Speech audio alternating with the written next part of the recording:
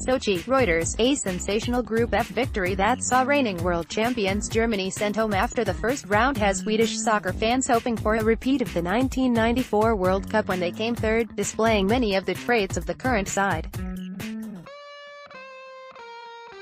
Soccer Football, World Cup Group F, Mexico vs. Sweden, Ekaterinburg Arena, Yekaterinburg, Russia, June 27, 2018 Sweden's Albin Ekdal celebrates after the match Reuters, Jason Cairnduff Janne Andersson's men lost to a stoppage time goal against the Germans on Saturday, but a 3-0 win over Mexico and Germany's shock 2-0 reverse against South Korea gave the Swedes a last 16 tie against Switzerland.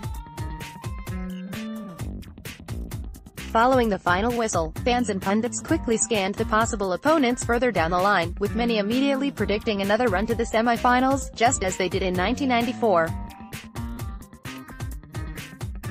If we manage that beat Switzerland, then it's England in the quarter-finals, and for an Englishman, it is physically impossible not to underestimate Sweden, said Aftonbladet journalist Robert Laul. After that, we're in the semi-final against Spain or Croatia, a new, 94 summer. Laul concluded. The 1994 side may have boasted some more skillful goal scorers in the form of Tomas Brolin, Martin Dahlin and Kenneth Andersson, but the game plan in the American Heat was the same as here in Russia, defensive organization and hard running. Then coach Tommy Svensson and incumbent Andersson are similar, no-frills managers steeped in the Scandinavian nation soccer tradition who prize the well-being of the collective over all else. Unlike the fans and pundits, Andersson is taking nothing for granted. Switzerland are a strong team, no doubt about it.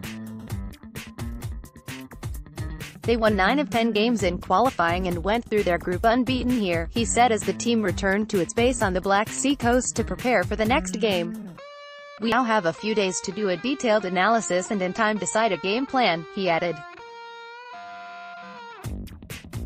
Sweden's best World Cup performance came when they hosted the 1958 competition, losing the final to Pele's Brazil but the epic journey of 1994 is still fresh in the memory for many of the fans now scrambling for tickets for the last 16 game in St. Petersburg, a mere hour's flight from Stockholm.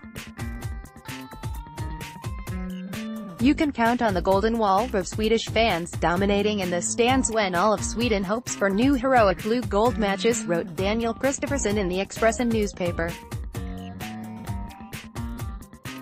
Reporting by Philip O'Connor, editing by Christian Radnedge or Standards. The Thomson Reuters Trust Principles